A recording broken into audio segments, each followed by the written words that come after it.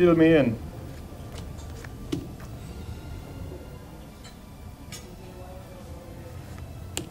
Is blackjack your game? It's not so much my game as it seemed my kind of place. I'll stay. You sure you don't want to try for more?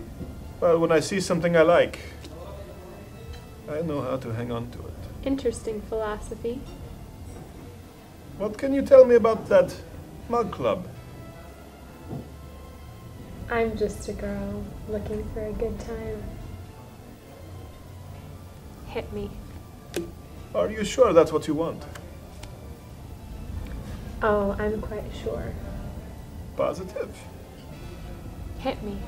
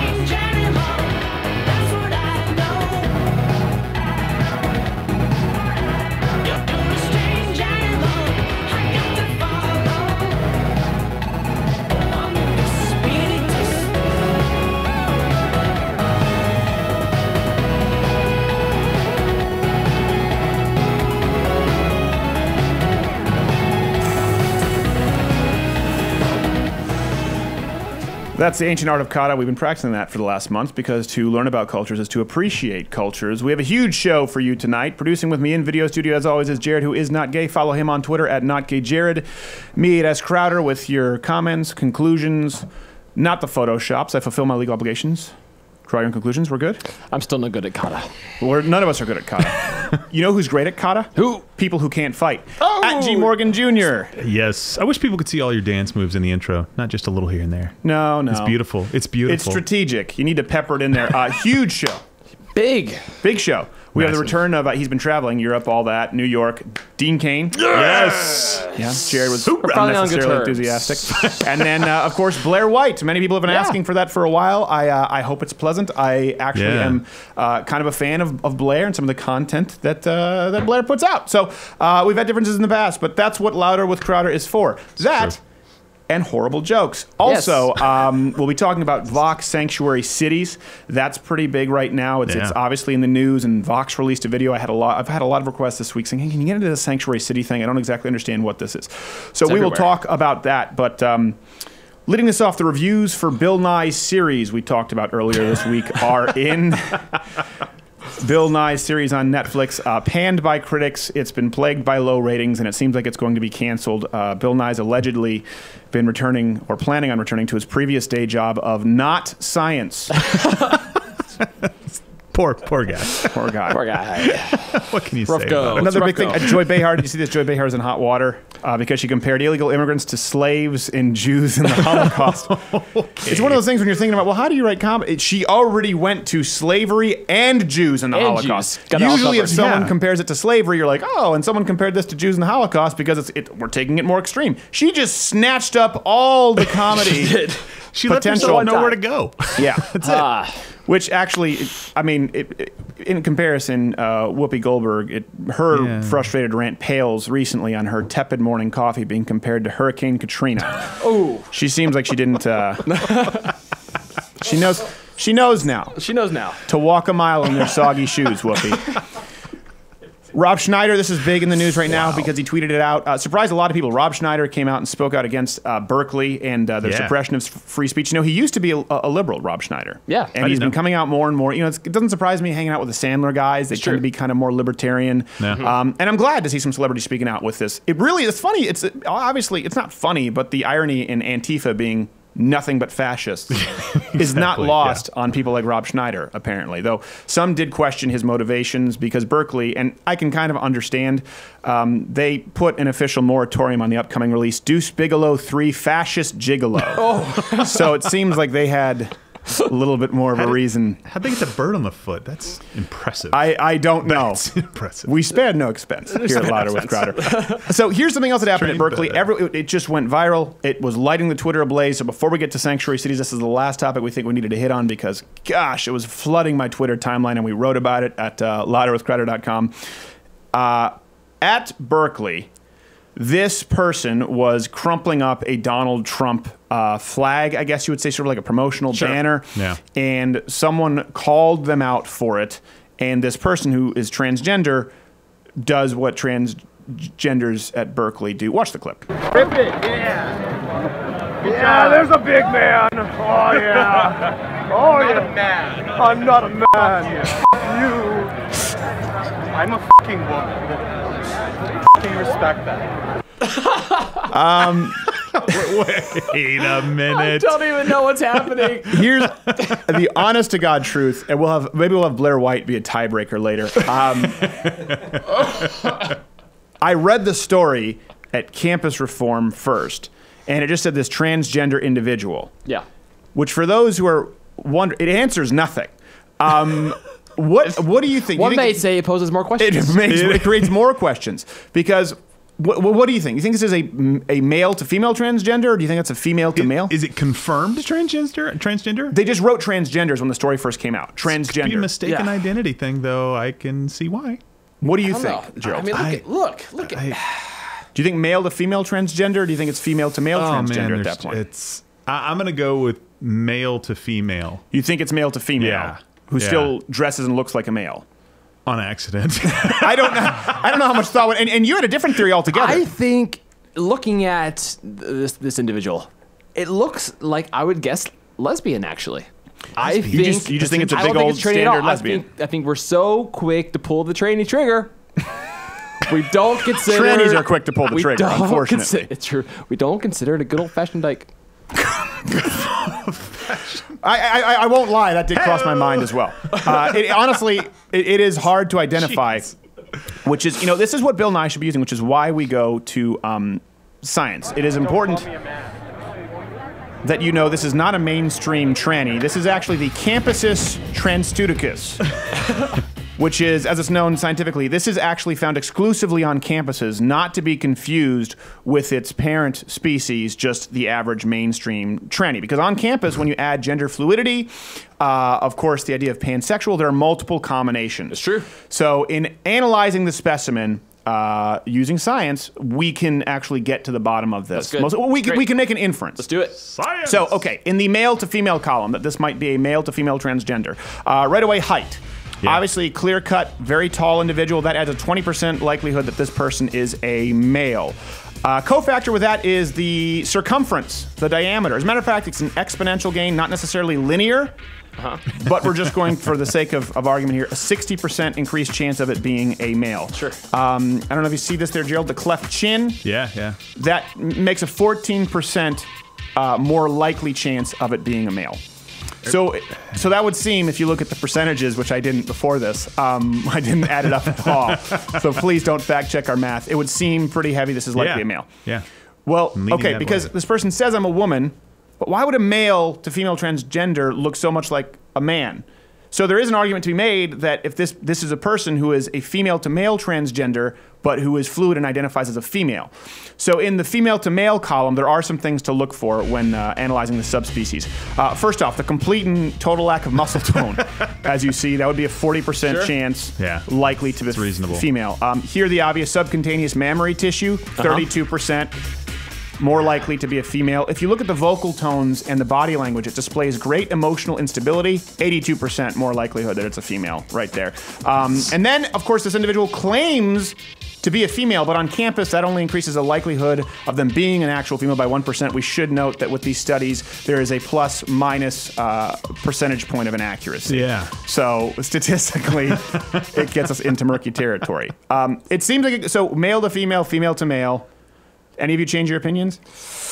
No, I'm sticking with it. I'm man. gonna roll Because with it. there's some detective work, something upon further inspection, close up, not gay Jared. When you look at the shirt, the shirt says leftover crack, purgatory. And right there, uh, upon further examination, a cat pun T-shirt gives it 100% likelihood that this is just your run-of-the-mill homosexual thing. Scientifically known as the Fagus flamboyicus 100%. Ooh. Solve that mystery. Gosh, that was tough. Thank you, science. We Yeah. can't understand. There's there's You no see how rule hard book for this this. is? You see what you're doing to us? I'm a woman. Oh gosh. What? And what's so funny is th- when uh, the leftist sites were trying No to say this person was provoking the transgender. If you watch the video, the person goes, "Oh, what a big man you are," crumpling Yeah. up a flag. The, I'm a woman, and the guy doesn't respond with a smart ass comment. He just goes, yeah. Can you blame me for not knowing that? I mean, I don't on. think he set out to insult a transgender No. that day. No. I think he just was uh, upset at someone behaving like a child, crumpling up. Uh, a, a, by the way, he has a Nazi patch. I Where do you noticed that. Nazi patch outside of actual Nazi Germany? I don't know. I don't know how this person found the, you know time to do that outside of fighting the Incredibles. Because when everyone's special, no one is. All right. Nice. Vox Sanctuary Cities. Uh, this is something a lot of people wanted me to get into Sanctuary Cities, describe exactly what it was. And I was going to do it this week, but Vox beat me to it this week. Um, and here's the thing if someone disagrees with me, we'll have Blaire White who disagrees with me on some issues. If someone disagrees with, with some points of view on this show, that, that's fine. My, I don't have an issue with MSNBC. You don't really hear us taking a lot of shots at MSNBC, much more so CNN, because Chris Cuomo uh, thinks of himself as, my God, an actual journalist. So uh, when Vox goes out and tries to act as though they're simply uh, describing what a sanctuary city is and what's occurring in practice, and you draw your own conclusions when it's clearly uh, uh, biased reporting, that's where uh, my antenna go up. So let's let Vox describe for you what a sanctuary city is. First, what are sanctuary cities? They're cities and counties in the US that limit their cooperation with immigration enforcement, which falls under federal jurisdiction. These policies are different in different places. In Chicago, it means city employees aren't supposed to share residence immigration status with other people. In Washington, D.C., it means police officers are barred from asking residents about their immigration status. Um, that's actually that's fair enough. I would say that's pretty accurate. Sure. Uh, for people, who, what you seem Makes suspicious. me hate Washington, and Chicago. That's what my, it just makes me say I don't want to okay, visit they're, there. they're explaining the situation. Okay, But they I'm are good. explaining it. Uh, I As actually think that's a pretty fair initial explanation. It basically Yeah. comes down to um, cities and cities that don't have to enforce the federal immigration law because federally, coming here illegally is a crime. Keyword there, illegally, it's a crime, and the punishment for that crime is really just being deported. That's pretty pretty lenient punishment if you think about Yeah. it. Punishment is eh, you end up back in your room. Yeah. ticket It's a go to your room timeout. Sure. Only forever. And your room is a crap hole if you come from Mexico. So um, that's what's happening. It is local law enforcement in certain cities not being required or refusing to carry out uh, national immigration orders. So it, it, it, it well, a couple of things there. Well, well, there is. I hate to use the word nuance. There, there's a little bit more to it to that, and, and, and we'll get into the rebuttal more with Vox here. But it, that is what it is. It really comes down to the feds versus local. It's like every old cop movie you've ever seen. Oh, criminy, it's the feds. All right, kid, scram. This is my beat now. Hey, what's the big idea? I've been working this case for four years. Four years? There's one thing you better have. What's that? A good retirement package. Ah, get out Ah, of here. scram, Ah, you low beat life. it. Get out, Hooligan. beat it, Ah, you know nothing. here. Yeah, Ah, low life. right. Why can't you two just get along? so, uh, okay, Harmony. next clip. Next clip from Vox. But often it comes down to this How does a local police officer handle an unauthorized immigrant that he's already arrested for some other reason? Was that a question? Deport him. De- deport the person who's here illegally. It's pretty simple. I don't understand. I understand. mean, okay.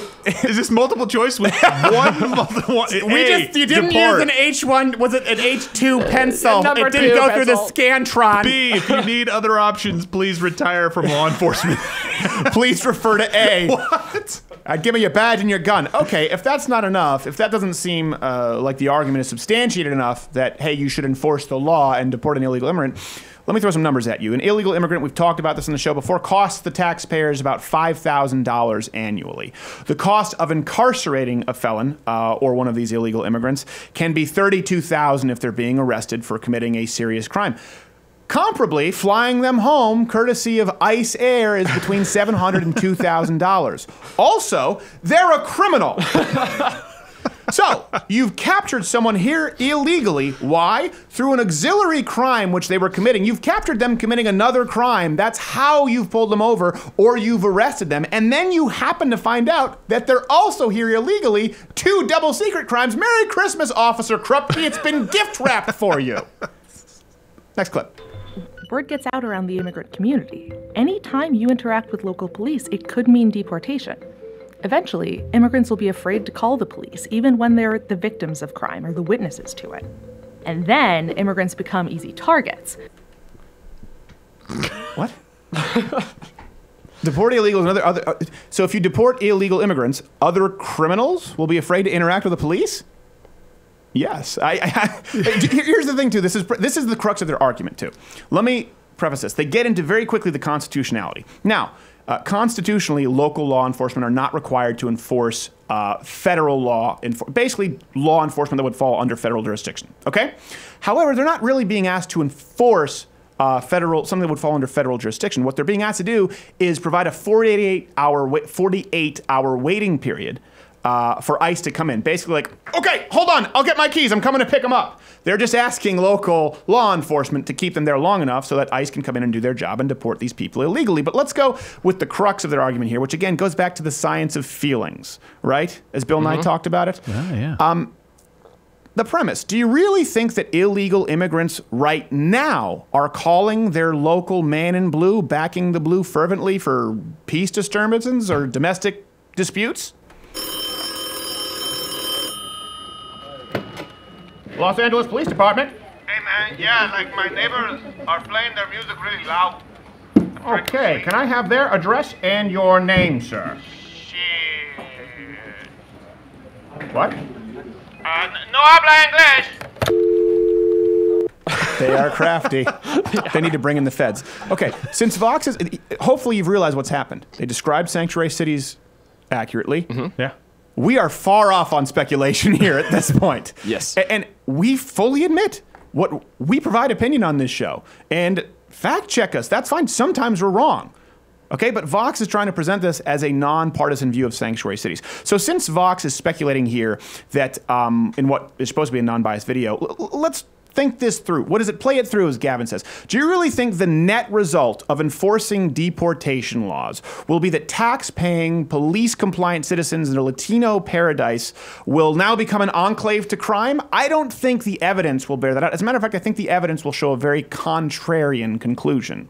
In late January 2017, shortly after he got into office, President Donald Trump signed an executive order that opens the door to withholding federal funds from sanctuary cities or counties.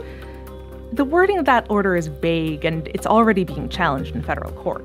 But if Trump's plan does move forward, it could put local law enforcement officers across the country in a lose lose situation. For them, deciding whether to honor a detainer request is often about choosing between financial security on one hand and public safety on the other. What? Uh. First off, what? And yes! yes, exactly. Okay, if a policeman, sometimes called a lawman, right, Yeah, yeah. refuses to enforce the. I've seen the Steven Seagal show. If they refuse to enforce the law, that ensures the safety and order of its citizenry, the higher ups or even the taxpayers who fund those who are supposed to carry out the law sometimes cut the purse strings for the lawman. Was anyone else not aware of this uh, sort of unwritten, well, actually written, but for most I thought people, this was in the contract just- every time. contract? I can't can't get it. If you don't enforce the law, we remove law from your title. It'd be like, so, and you're just a man or a woman anymore. be like, I, sir, I'm going to give you twenty dollars for a pepperoni pizza. Okay, that's a spicy meatball, because that's what they say. And then they take your money, but they don't give you a pizza. Yeah. And the owner of that place says, "Well, you know what? We're going to fire you. Why? Because you didn't make pizzas. Is that hate speech? You racist. Well, the meatball was, but the analogy remains. Next clip. If the federal government issues a detainer request and the local police department refuses to accept it, the state government can step in by taking away one of the state funding streams from the local police. That's what happened in Texas in 2017. The governor of the great state of Texas, Greg Abbott, has declared he will sign a law banning sanctuary cities. He's already issued an order that cuts funding to those sanctuary cities. This is dangerous, and I will not allow it as governor of Texas. Okay, here Right, we go. baby. Um, Yeah. Vox's argument, as we see, rests entirely on feelings. Again, they're claiming public safety here. Right? This is the argument. They're saying, well, cops have to choose between deporting illegal immigrants or public safety. Or cooperation. yeah, or public safety. Well, hold on a second. What does that mean? Does that mean um, this? Are we talking safety of legal immigrants who obey the laws on a day-to-day basis? Are we compromising their safety by deporting illegal immigrants? Enforcing deportation makes them less safe? I'd like to see a reference on this from Vox. Any reference? Or are we talking about public safety specifically of communities consisting of illegal aliens because they might live in fear of actual laws being enforced? It's like they're arguing for drug dealers. Hey, somebody stole my drugs. Can you, uh, what? You know what's going to Doesn't happen. You're going to get trumped. They're going to say that you just called all no, Mexicans drug no, dealers. no. I was Ah, comparing Gerald. it. It's just comparing its criminals. Okay. Jeez. So instead of that hypothetical that Vox presupposes, let's look at the evidence here. Um, guess what? Illegal immigrants here tend to commit significant amounts of crime. Not all immigrants, not all immigrants are, are, are committing crime, but crime is high in the illegal immigrant community. It turns out when you skirt the law and flagrantly disregard the law to get here, and you're not even on the books for the law to find you, you may not have a ton of respect for the law. and this is what brought this is the single issue that brought Donald Trump to power um, because people were, were uh, people who are here legally, and I come from a family. Of it, not a family. My mom is French Canadian. She didn't even speak the language. She learned the language. She's a tax-paying citizen. I am the biggest advocate of doing it right by the books that Sure. you can find. But people are tired of the illegal immigration, and this is what this is what this is what brought Donald Trump to power. Everyone thought that he was racist, and they said Donald Trump's racist for wanting to enforce the laws. Let's paint him, let's tar and feather him, and the, the American people will try and distance themselves from the racism of believing in enforcing immigration laws. No, he won, and now arrests of undocumented immigrants have gone up 32 percent. And guess what? That's guess what the result of that is. Uh, I'm gonna guess uh, illegal immigration might be down a smidge. Down 61%. Illegal immigration down 61% since election day. Even PolitiFact says it's mostly true. And mostly because apparently we need more data to be drawn uh, on this, and also because it's PolitiFact and they suck. so even they say mostly true, 61% since election day. So again, what, what is significant. what is the net result here if we think about it? Is, is the net result, again, if you start enforcing immigration laws, all that's going to happen is we're going to see communities decimated and people are going to be less safe? Or if you enforce immigration laws on illegal immigrants, instead of sauntering on over and having every Tom, Dick, and Harry and member of the Latin Kings following suit, they're going to say, Don't come! This guy, he mean what he say!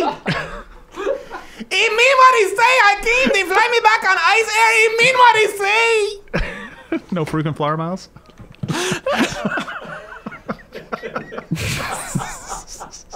It was a blackout day, man! it's not playing around! I thought I was getting double miles. They're all blackout days! so maybe when we're seeing we're gonna get lit. And I'm the one that's in trouble You're in trouble. comment. I didn't say they were drug dealers. I just did a racist accent.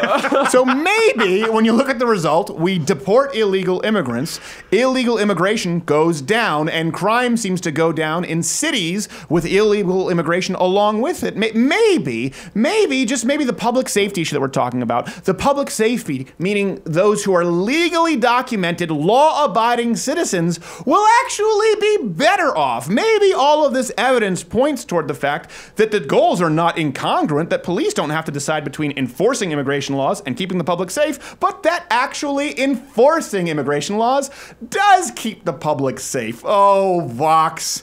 You almost had us too. Dean Cain coming up next.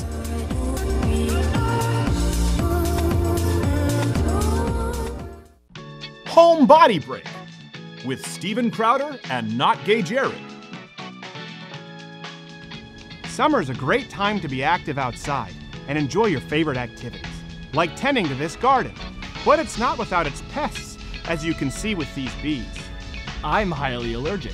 The good news is that you can create a homemade solution without the use of any synthetic, unnatural, or harmful chemicals that could harm the environment. Just mix three parts vinegar and a couple drops of peppermint in a household spray bottle. Mix and allow to sit for 20 minutes. Then gently spray on the affected area and watch as your unwanted I think guests it's only pissing them off. return to greener pastures. The key is to find the effect. Oh my god, it hurts! The peppermint was supposed to help. Why were there so many of them? Home Body Break with Steven Crowder and Not Gay Jared. Sponsored by Mug Club.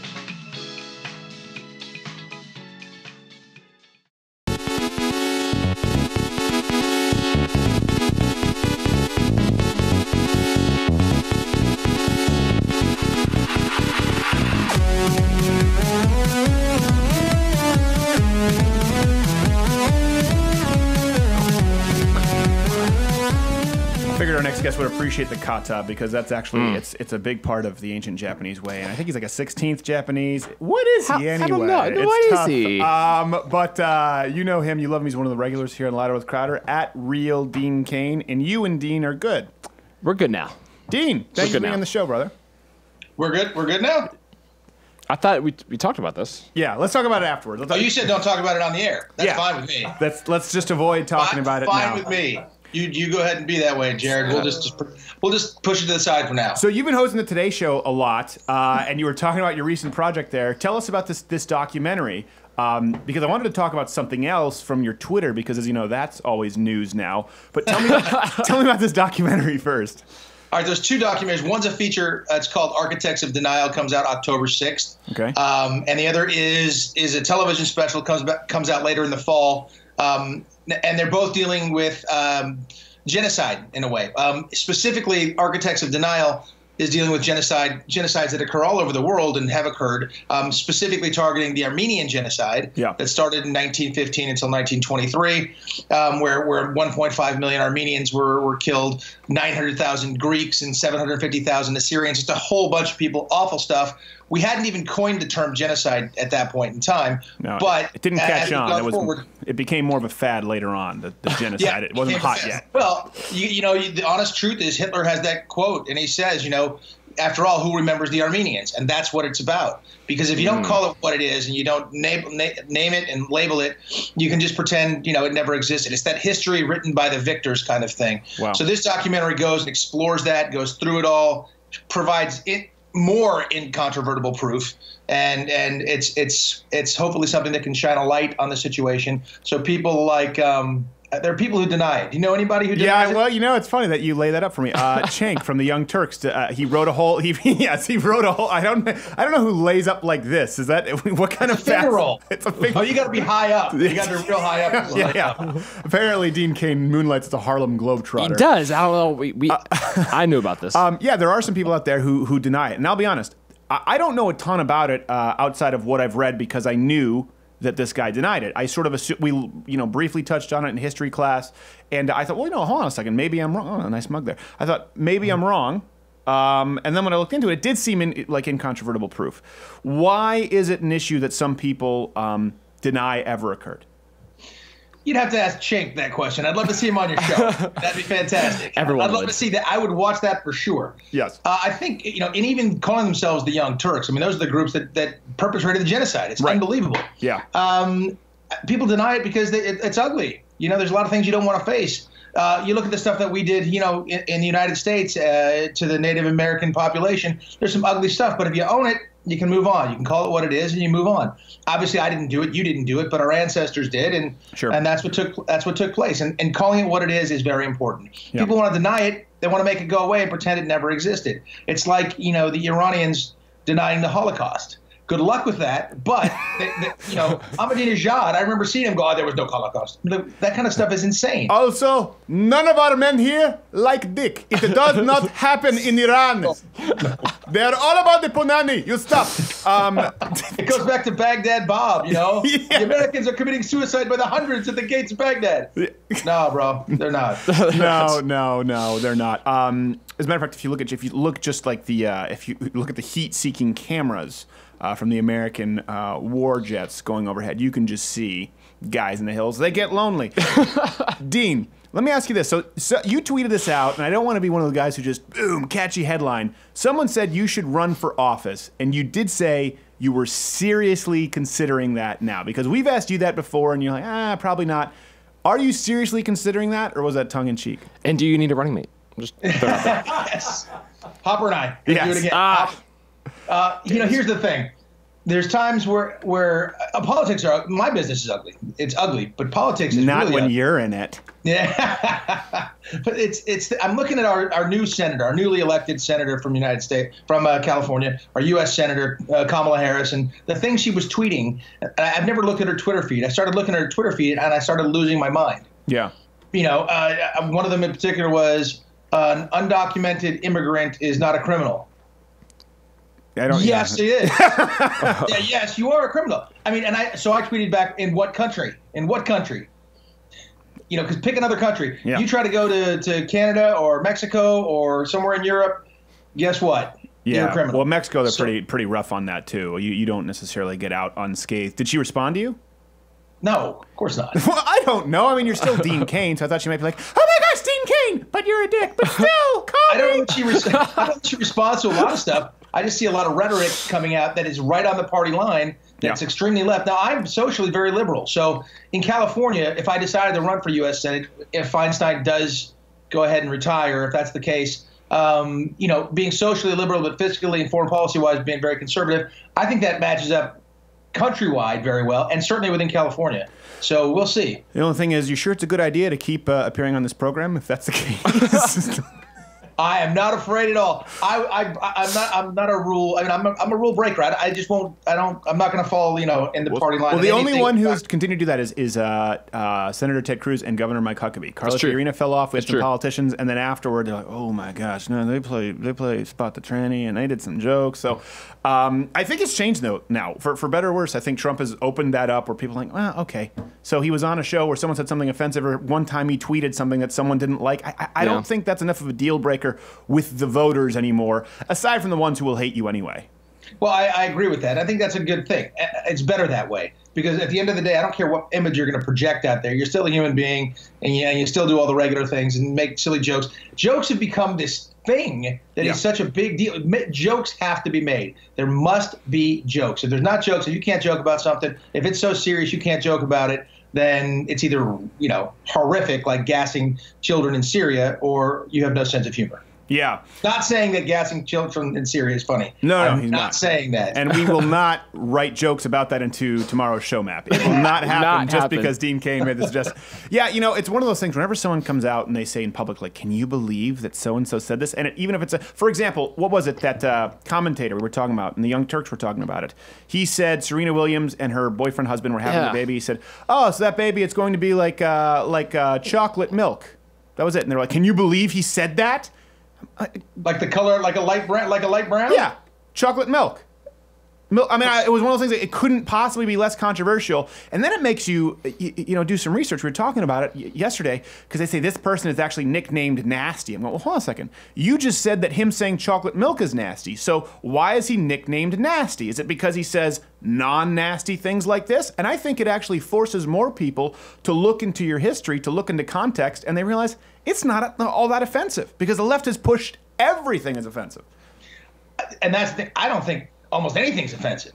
Right. I don't. I'm not getting offended by stuff, and I, I think that's the way it should be. You know, on my Twitter feed, I do have a, a, a quote from uh, Martin Luther King talking about his I, I have a dream speech and talking about how he has a dream that one day, you know, his children will be judged not by the color of his skin, but by the content of their character. I don't see race. I don't see sex. I don't. I mean, I see sex. So Yeah, I'm, yeah, of course, know, so- everyone sees sex. we work on the internet, but, buddy. Uh, but I don't see it. I don't care. None of that means anything to me. So I don't. There's no special dispensation to anybody. if you don't see sex with Dean tranny, Cain and like, you don't the one in the care, you're dead. You're dead if you don't see sex with Dean Cain. Um, sorry, Dean. I'm sorry. It's just Thank you. You're, I'm you're gonna an put that on- I'm gonna make a what is it? A GIF? GIF? Gif- uh, You know, it, it doesn't matter how, what, how you pronounce it. Someone right now on Twitter will say that you're wrong. So I've done both, and uh, either way, And you know what I say to that person? They're wrong. Yeah, I know. And now you're gonna never-ending, never-ending tweets, never-ending tweets. Mm. It's like the caliber war, where you're like, "Hey, nine mil, nine millimeter to 45 only," and then someone comes in three. It just it never, Never ever ends, goes and then away. your career's over, and then you're. I don't mind the stopping power of 45. Just gonna throw it out there. Huh? Okay, all right, all right, all right. I don't mind it. No, I don't mind any of it. I just think I, I'd rather just, you know, I'd rather someone carry a 38 or a 380 than nothing. We're like, well, you might as well just carry a pointy stick. Ah, I'm not so sure about that. That pointy stick will go through you all the way a few times. Yes, exactly. It'll puncture some holes. So, uh, Dean, so if you so so it could be a possibility if you maybe think about running for office. I would. I mean, I would encourage you to because obviously you remove a lot of the arguments of the left that uh, you know you're a, you're a Nazi, you're hateful because you've got you've got some ethnicity in you. I don't know what it is, but it's enough to check a box. It's Japanese. I don't qualify as white, I guess. right. Let me put it this way: I have more Japanese in me than Elizabeth Warren has Native American. This is true. Um, or do I? Oh, Wait, there's a joke. See, that's a joke. That's a joke, It's a- right? It's a, joke about the Land, La- uh, Land Lakes butter lady. Uh, and then it, let us know if you do, and we will want to talk about it and have you on and uh, discuss this documentary. We have to get going. We have Blaire White coming up at Real Dean Cain. Man, I'm looking forward to it. We'll see. Maybe he'll be one of uh, our elected representatives. Stay tuned. Blaire White.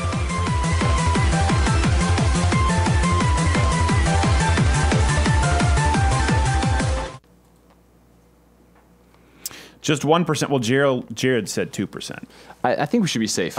Go for two. If just a couple percent of you people out there, louderwithcrowder.com slash mug club, join up, listen, it allows us to hire a lot of the other people here on YouTube, allows us to create a coalition of a lot of other people around who've uh, been screwed by the new anti, I guess you would say anti controversial speech algorithms. That's fair.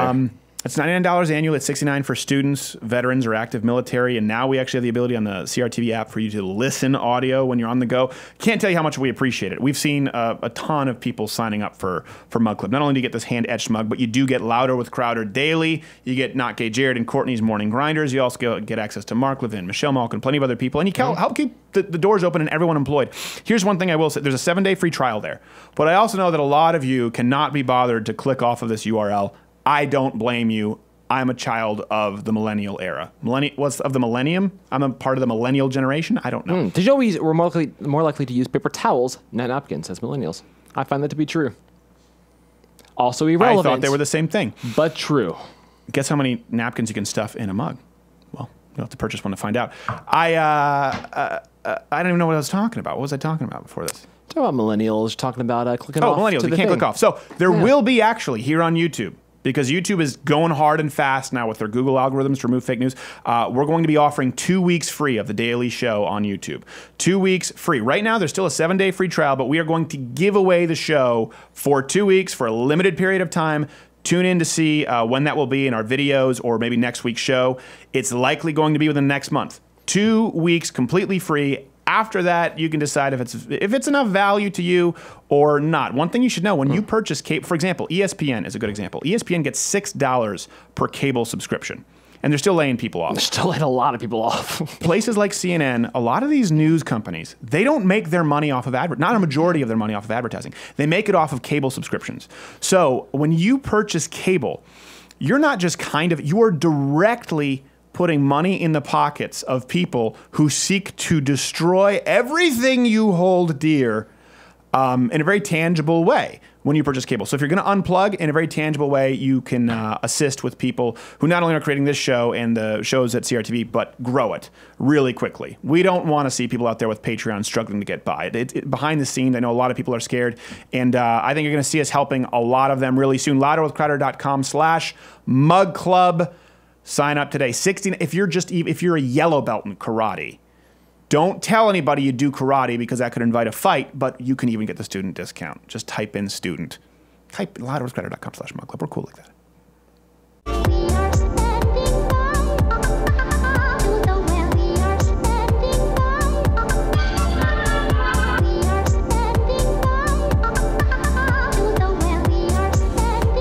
Because apparently this is a common thing for robots to do. In 2017, you'd think we'd have better w- robots. I never understood that. Apparently, that's a part of the robot dance. I've never seen someone do the robot without doing that portion of it. Glad to have our next guest on. Uh, well, Long time coming. You yeah at Blaire at at Miss MS Blaire White on Twitter. Uh, the channel is Blaire White X, I believe, on YouTube. Uh, Blaire, thank you for being on the program. Yeah, thanks for having me. This is highly requested, I think, on both ends. It is. I know. And you you you uh, did, did did not like me at one point, and I was I was saddened because I've actually always liked some of your content, even if we don't always agree. And uh, I'm glad that we're finally able to, to get you on the show. Yeah, I think that was like a year ago that we had our little Twitter spat. And you could still dislike me. Most people do. I wouldn't blame you at all. No, sometimes you kind of annoy me, but I still like your content overall. I Oh. mean, I, I think we have that in common. I hate myself. Believe me, this is the right place for self-loathing. Um, so, Blaire, for our audience, people who might not necessarily be familiar with you, or people listening, uh, sort of terrestrially, explain to them. I mean, you're you're you're transgender. Um, would you consider yourself? I don't want to mislabel you. Conservative, libertarian, alt-right, just sort of a Trump fan. How would you consider yourself? I am a Nazi. No, I'm just kidding. Yeah, well, Um, there you go. Oh, and YouTube just demonetized us.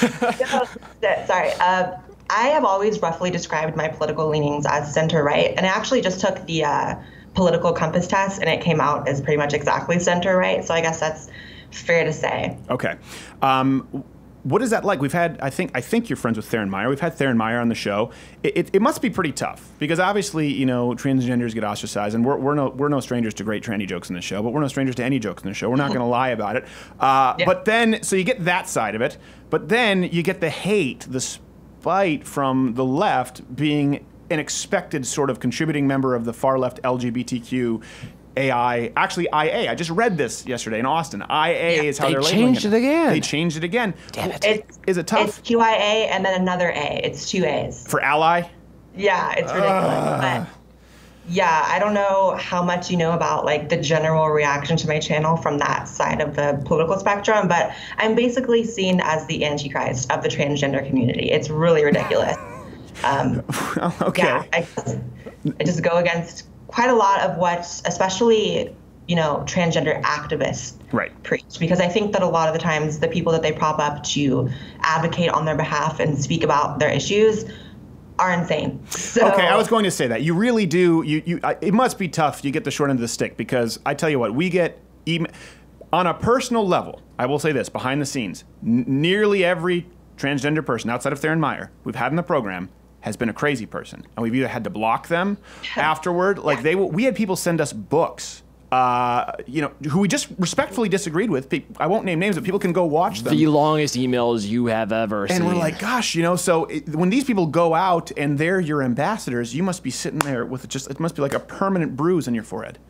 Yes, because I don't like the fact that transgender is politicized at all. Because to me, it needs to remain a medical issue, a psychological issue. You know, an issue of neurology and shit. Like it shouldn't be. I don't know if I can curse. I'm sorry. Um, You can't. it Jared's job is just harder. Okay. It shouldn't be politicized at all. So if it is going to be politicized, I at least want like smart people advocating for it, and there just isn't. Yeah. Instead, you get, you know, the Stephanie, whatever his name is, the 35 year old. Oh, Steph on knee. Willow, Yes. Willow Sakowitz or something. Yeah, don't. Steph on knee. Very clever naming there. Yeah.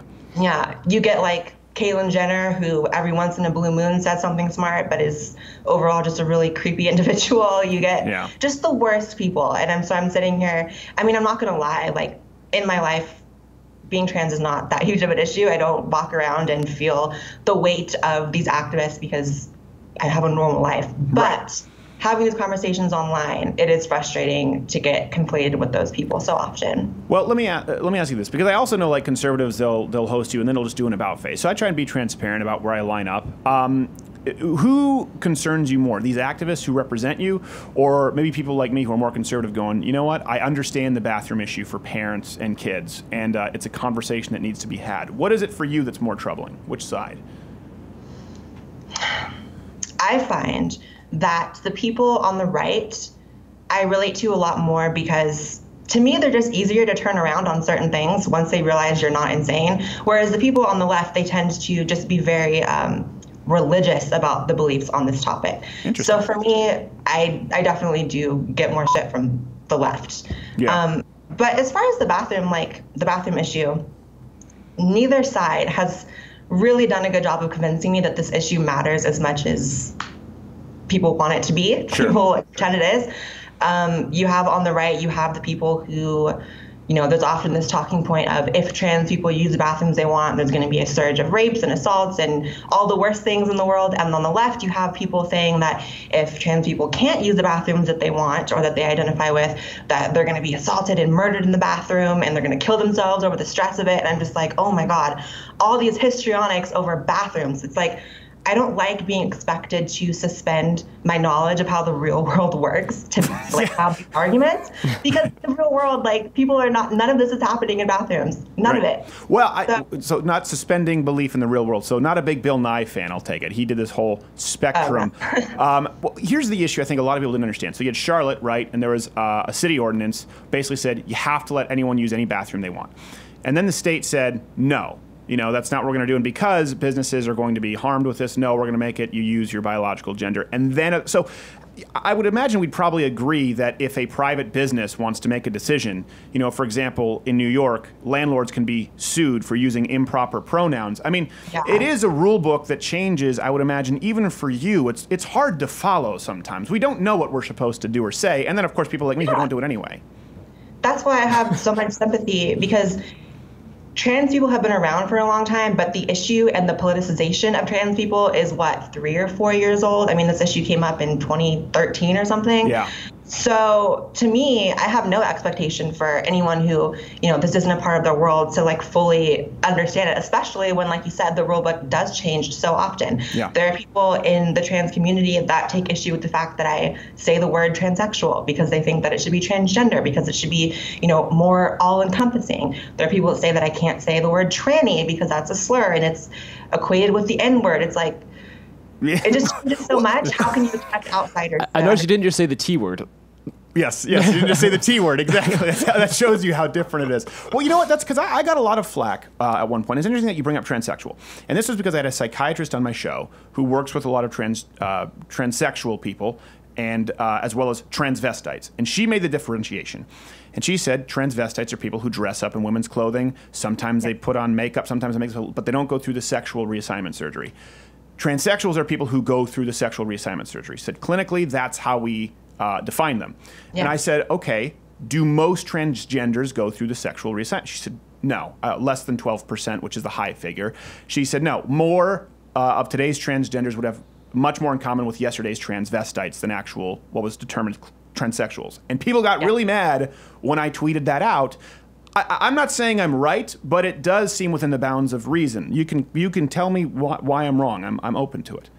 No, I, that was actually, I think, the spat that we had a year ago when you said that. Okay. And honestly, since then, I've really come to see your point because when I initially got angry at you for saying that, it was, I think I was like a month or two into doing YouTube videos and I had not really dove into the trans community and how they really feel. I always assumed all trans people were just like me. And so coming from that assumption, you see someone saying that trans people aren't different from like cross dressers and transvestites, and I'm like, well, yes, I am. But then you look at the fact that the definition of trans has been expanded so greatly Yeah. that people do fall under that umbrella now, which is which is crazy, and that's one of the You're a rarity. I will say this: you're a rarity because we had a, a mayor on here, Jess Jess Herbst, who said, uh, you know, well, the problem is for people like me, barely passables.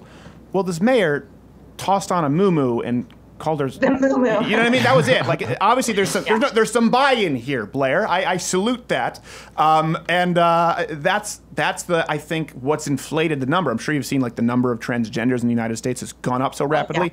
Well, most of them are not super committed, and a lot of them just go back.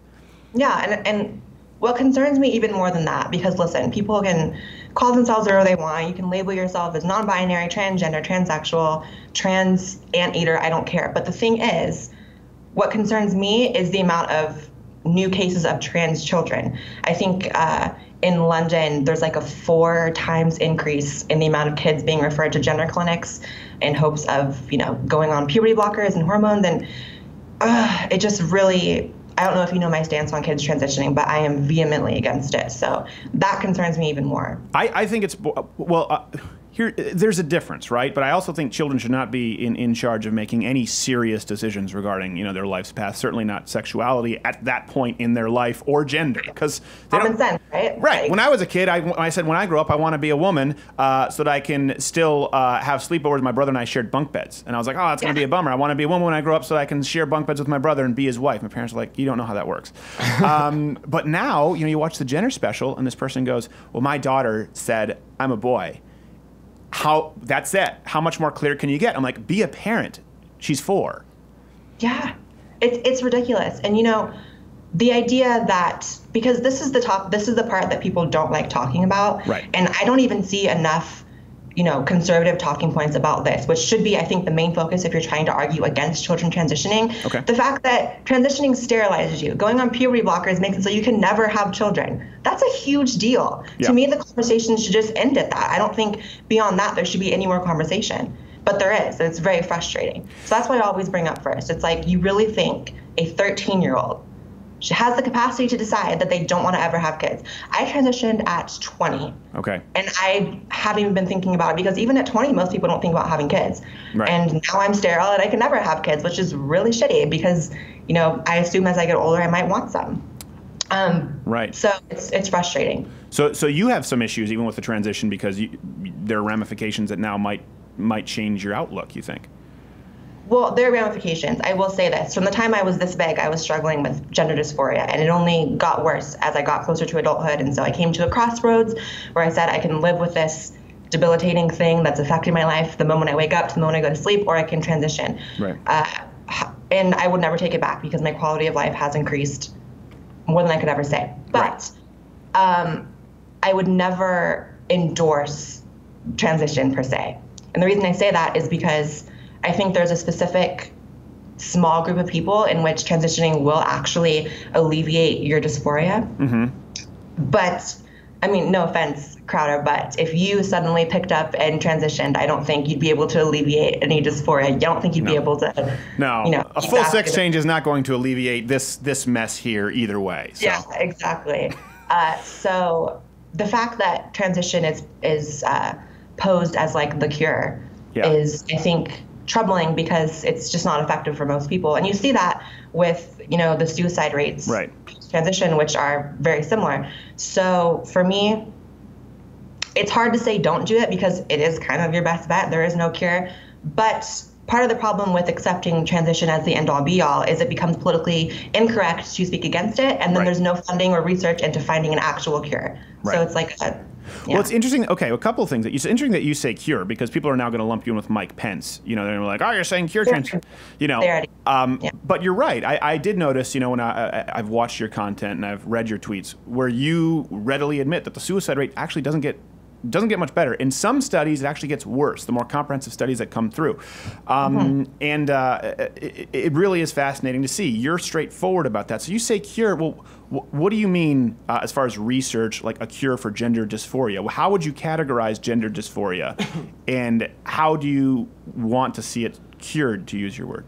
Well, it's well, it's not how I would classify it. I mean, gender dysphoria is classified by the DSM as a mental disorder, and so you know, I'm not an expert, so I can't sit here and say this will be the cure. We should look into this, but um, I would like there to be something you can take. I'm not advocating conversion therapy, which is more often than not throughout history proven to be more barbaric and less helpful than helpful. Right. But but the fact that as of now in 2017 the only answer people have is transitioning when it's so faulty, uh, I just wish there was something else because it's very hard to explain to someone who this is not a part of their world how debilitating gender dysphoria is. And Sure. I, I know that on the outside it just sounds like oh someone's unhappy with their gender, get over it. But it is actually very Yeah. it, it'll it'll f you up. So for me, I would love for an end to people suffering, you know, Yeah. and people twist that. And I had a debate recently with a non-binary genderqueer feminist who said that I was it almost sounds like a joke, but I know that's how they it, label it does, themselves. but it, but it's like serious. But um, said that I was advocating for trans genocide because I wanted there to be a cure. He's like, oh, you want there to be no more trans people? I'm like, how do you twist that? Actually, I don't want anyone else to suffer with this issue because it is Right. an issue.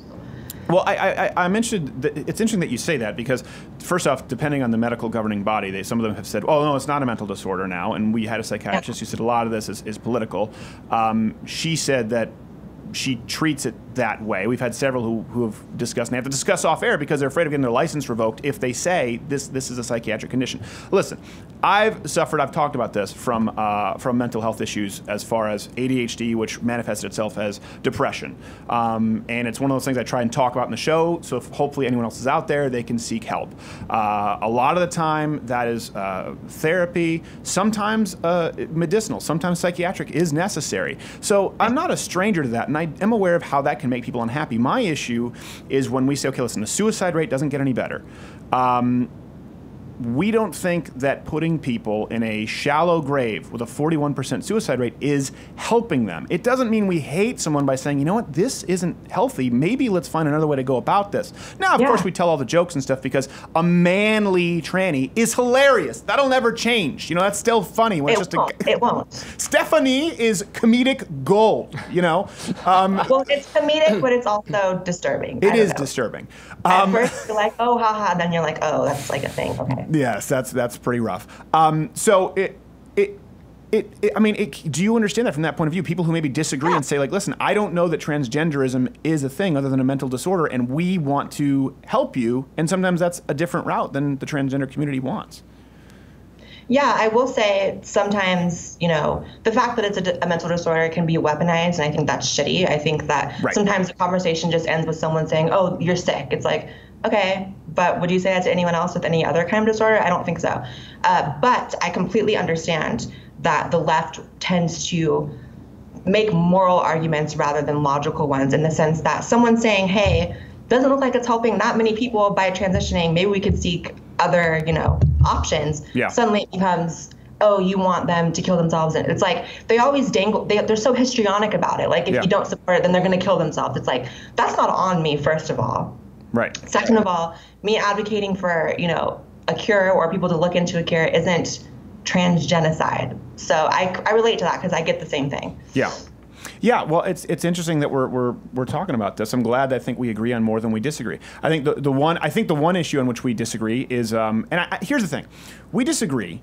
But my point is this: unlike people like Bill Nye, I'm willing to engage in a conversation. You know, um, if I cite a study that the you know uh, the brain chemi- the changes occur after cross hormone sexual replacement therapy, I know there are studies that would contradict that, and then I know there are subsequent studies that contradict that.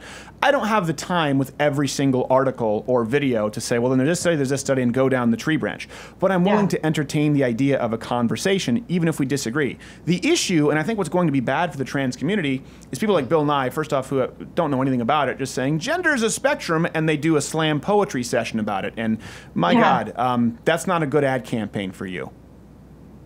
No, and you know, some people view me as like an advocate of sorts, just on the other side. Uh, it was never really my intention. In fact, when I first started my channel, uh, I spoke mostly about men's rights, and I would speak about um, anti-white sentiments in the media and stuff like that. And I think it's just kind of a byproduct that a lot of people come to my channel, and their only perception of trans people before me was the Riley Dennises and the Milo Stewarts of the world, and what Bill Nye says. And so it's like refreshing to them. So Yeah. I guess it's like a byproduct. But um, I'm by no means an advocate and by no means a spokesperson for the trans community. I just kind of speak from my experience and what I research.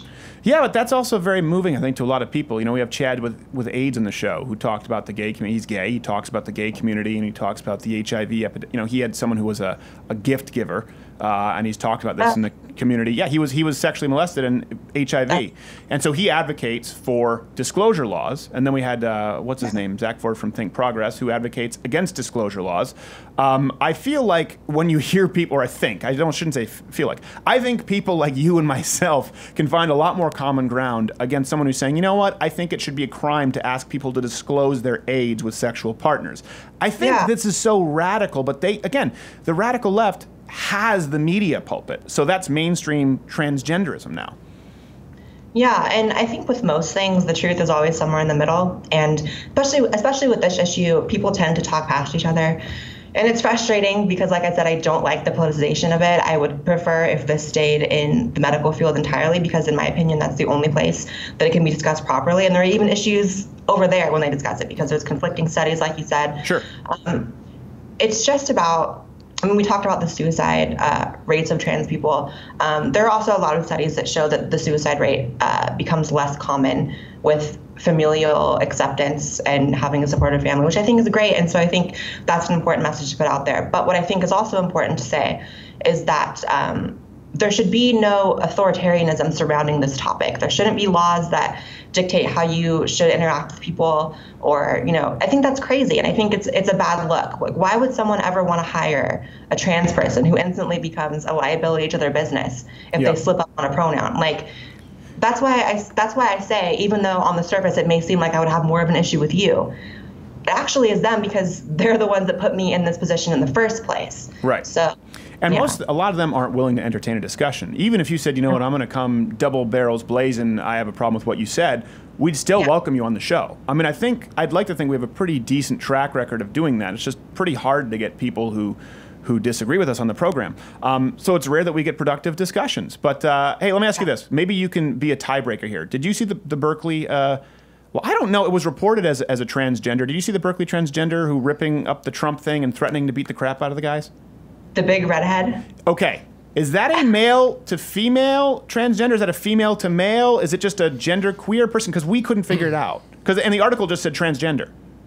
Um, I probably have about as good of a di- an idea as you do. Okay, okay. From but from what I read, I think it was a male to female transsexual because they got well transsexual trans person because they got upset over being called male. Um, So you think it's again, male to we're female? talking about the representation thing. There was uh, Zoey Tur, I think was Yeah, their almo- name. Zoe almost, Tur. almost It's like- strangled Ben Shapiro.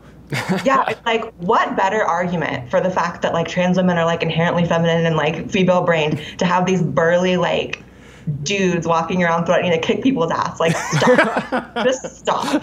Well, here, uh, here's the thing. I don't know because if it is a male to female, we actually were doing a whole we were doing a whole uh, analysis earlier. If it is a male to female transgender, it's a male to female transgender who then dresses and cuts his or her hair like a male. Like I said, I don't know the rule book at this point. Um, and, and what's funny is I saw the, the the leftist kind of reporting on it. You know, this guy committed hate speech. I don't think the guy knew that was a transgender when he said, "Oh, big man," you know, like crumpling up the flag, and then he goes, "I'm a woman," and the guy doesn't say anything. He's like, uh, "That's it." This is what I said before. It's about suspending, being forced to suspend your knowledge of how the real world actually works. When it comes to pronouns, people act like it's a thought process. It's not. Yeah. Using someone's pronouns is a subconscious, you know, judgment based on secondary sex characteristics. In other words, what you view someone as. Someone walks into a store, they look like a woman, you're going to say, ma'am, it's not a thought. And so this idea that you should walk around and like ask people their pronouns before you talk, it's just not real. Right. It doesn't work like that, you know? Yeah. Well, and that's why I didn't use pronouns when I brought you on the show because I'm liable to slip up. With you, I would probably very likely just instinctively say she. Um, with uh, Mayor Jess Herbst, it would it would be a struggle for me to not say he because I'm looking at a man. You know, and it's just it, it's it's just instinctive. So I just try and avoid it because I know I'll I'll, I'll, I'll make the mistake and step on that landmine at some point. Yeah, it's and then but then there's also the people on the on the other side who act as if they will only ever use the pronouns that are congruent with someone's biological sex. And that's not real either. Because if you and I were to go to dinner just to hang out, um, and you got there after me and I was already there, and you told the person at the front of the restaurant, um, I'm here to see my friend, and you said the guy in the red shirt, and I'm wearing the red shirt.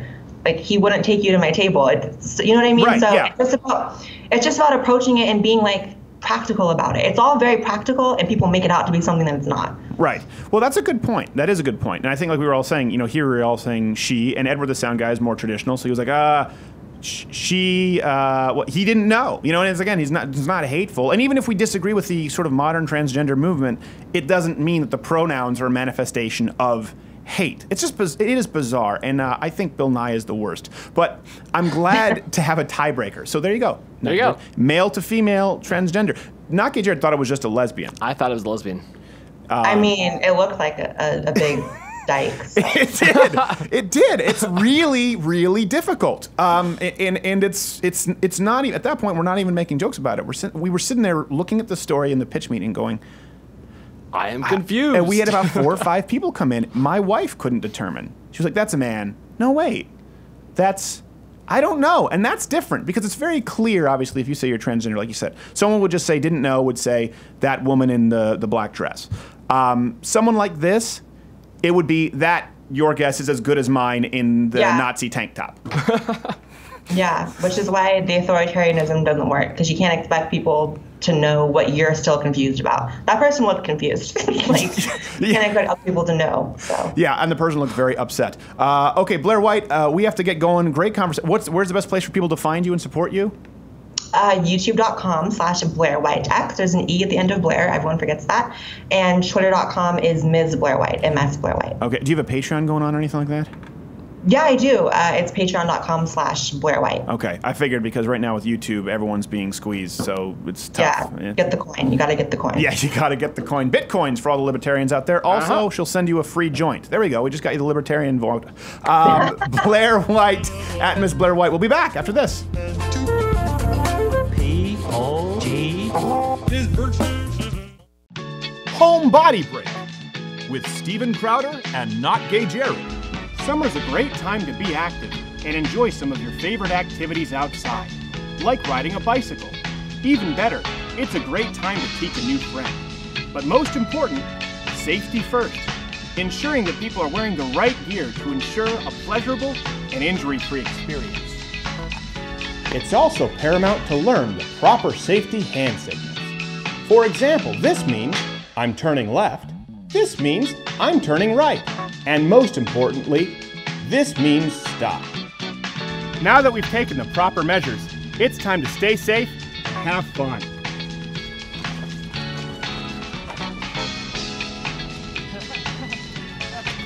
Stop, stop, stop, stop, stop, stop!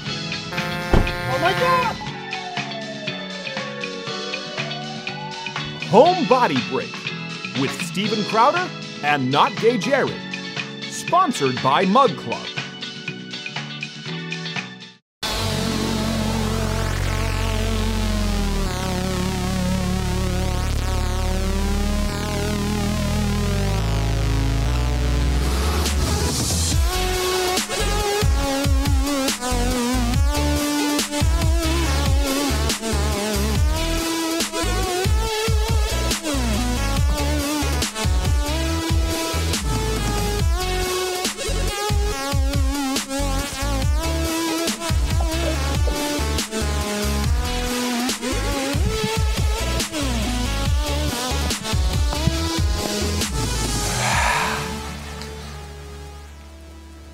Request for that. We return to the drowning dance because We a lot of you apparently like to see us pantomiming death. Death. Uh, thanks so much, Dean Cain and Blaire White. I Yes. really enjoyed the conversations. Uh, nice folks. Hope we have them back. Huge week next week too. We have a lot of great guests. Uh, we have Patrick Moore, who is one of the founders of Greenpeace, Mm-hmm. PhD in ecology, uh, and he says the entire modern climate change movement is bullcrap. That is interesting. But he only has a PhD in ecology, Oh. so he's a denier. Let's be clear on Ah. that. He does not have a bachelor's in mechanical Those engineering. Koch brother checks are clearing. Yes, those Koch brother checks are clearing, and uh, we have a few other people. Oh, we have Diamond and Silk. We have Diamond and Silk will be on the show. Yes. Diamond and Silk on Monday. Actually. I remember when that was just became huge. I'm like, we have to have these ladies on. Well, they have Well, a that's happening. publicist who's very much like, what Like- do you what do you want to have them on for? Diamond and Silk are very busy. And they're like, of course they are. Of course they are. That's perfect.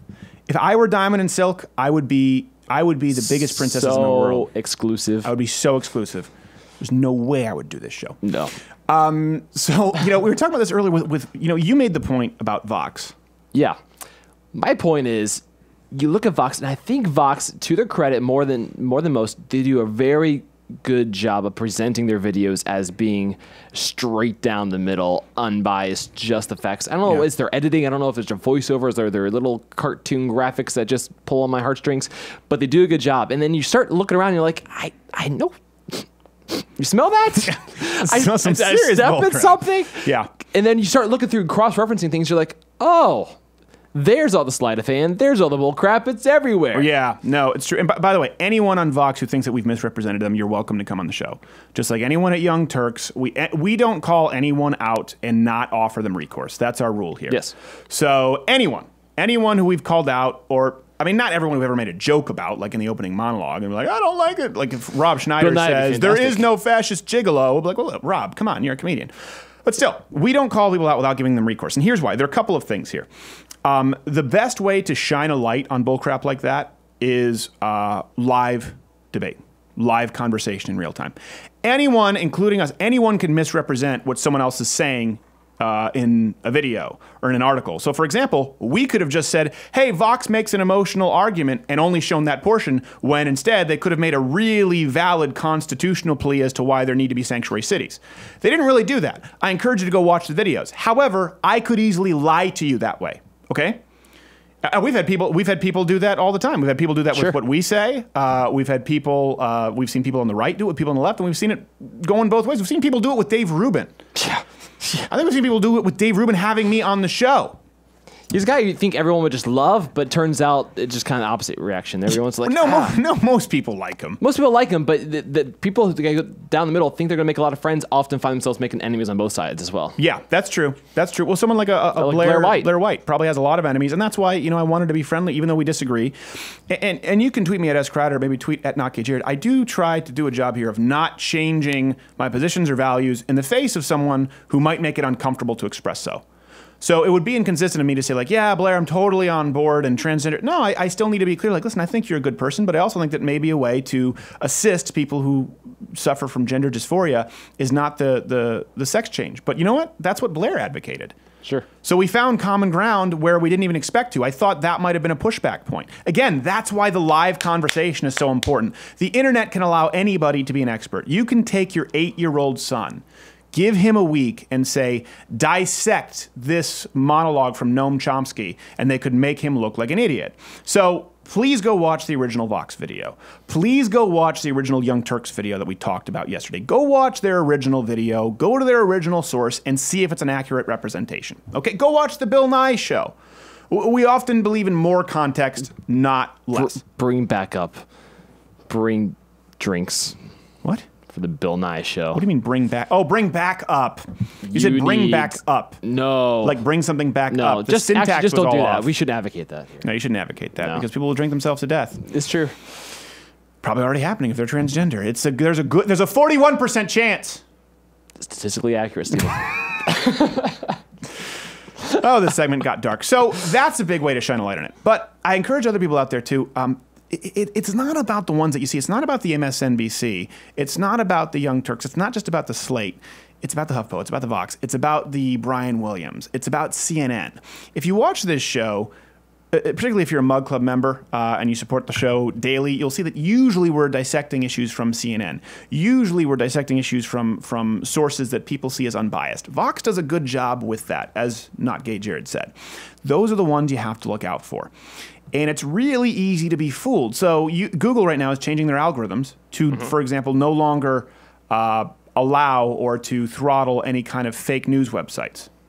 So under that category, it seems like opinion sites will be included, but under legitimate news will be university newspapers. Yeah, yeah. Those So the trust. Trigglypuffs, who are editor in chiefs of newspapers, the "I'm a woman and you better respect it," who by the way didn't even doesn't even attend that campus. Really? That's what. Yeah, that's what she said. What do we decide on? I, I don't, don't know. know. I still don't know. I just know I'm still going to have nightmares. Edward Sound Guy says he. So, um, this is what's going to happen with Google. So you don't need to worry about what you're finding that's blatant. You're going, oh, well, that's coming from Mother Jones. But when you're searching, oh, hold on a second. Google's not really necessarily showing you uh, that deportations actually lead to less illegal immigration. Google may not be showing you that illegal immigration comes with higher crime. Google may not be showing you that um, ICE just needs a 48 hour retainer period to be able to come in and pick up illegal immigrants.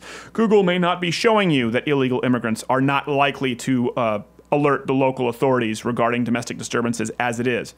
Google may not show it to you. Vox may not show it to you. CNN certainly is not going to show it to you. They'll show you Russians peeing on apparently plaster in front of Donald Great Trump, something ratings, along Steven. those lines.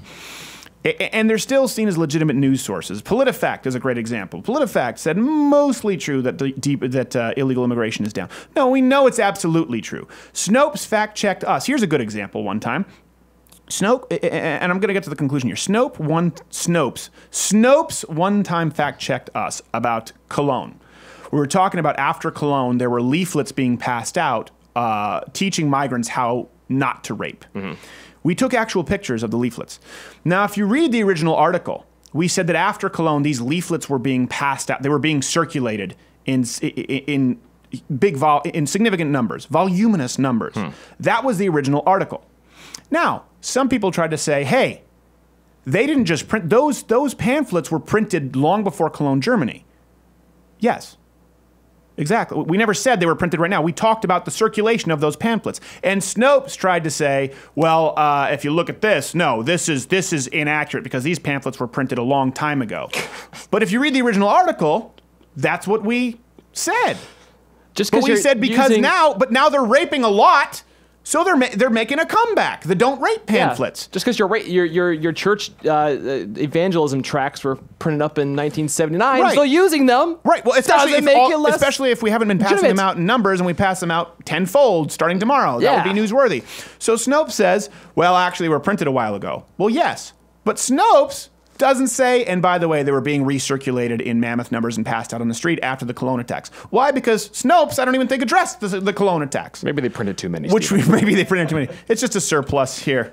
Here. Snopes. On the back of it, it's telling you the wonders of Jehovah. You don't know, but the point is, Snopes sucks. PolitiFact. People can do that easily. People can take Mm-hmm. anything out of context and craft an argument against an argument that you were never making. Um, and Vox does that a lot. And they're really good at it. And so I want you this week to, we've always said this, right? Set HuffPo, Salon, set all of the sites that you hate, all of the people who you don't like, watch them, listen to them, read them on a regular basis. Also, try to learn not to hate them. Don't be angry about it, but educate yourself and be in the know even more than that is I want you to have your antenna up whenever you read something that you think is not biased. Whenever you see something where you're going, gosh, what, are, what is a sanctuary city? You type it into YouTube, guess what's going to be the first thing that shows up? It's not going to be this podcast. This thing's been demonetized by segment one, okay? Yeah. By the time Jihadi Bond It's theme on page song, 12. It's, it's on page 12. Vox is going to be right up there. And again, it starts with this is a sanctuary city. We can agree, okay, that's accurate. We're not beyond agreeing on facts. And it uses that as a springboard into speculation. Now, there's also nothing wrong with that if you're straightforward that you're giving an opinion or that it's speculation. Vox doesn't do that. CNN doesn't do that. Chris Cuomo doesn't do that. A lot of people on the left don't do that. Something else that's important I won't say that Vox is lying. I won't say that someone else is lying. Lying means that you can prove a motive. I just think they're wrong. Now, there are some people who uh, I will argue very rarely. I, it really seems like this person is proactively lying because you can go back and check an inconsistency where they knew information that they withheld. So that's something important too. It doesn't necessarily mean that these people are lying. It means that they are wrong. And again, there's always confirmation bias. You are choosing to go along with the narrative. We do it too. We try and be straightforward about that. But what, for every every biased piece of reporting, every biased piece of journalism, this is a comedy show, but out there, biased pieces of journal- journalism that you see, for every one that you do see, there's 10, 15, 20 that you don't see. The New York Times, up until recently, did not think that they were biased. They genuinely didn't think that they were biased. Only 7% of reporters identify as Republican. I'm sure Walter Cronkite thought he actually was the gold standard of journalism. But he said you couldn't be a journalist and be a liberal. I'm sure Dan Rather uh, maybe didn't even know that people were forging documents to try and indict Bush. Maybe he didn't even know. I'm sure a lot of these people aren't aware that they're super biased. I know because I've I've been in the halls at Fox News, at CNN, at all of these places. I've been on these programs, and a lot of the time, many of these people think, "Well, I'm doing my job as a journalist," and they either make a judgment call to omit something which is pivotal, or they don't even know that it's relevant to be included.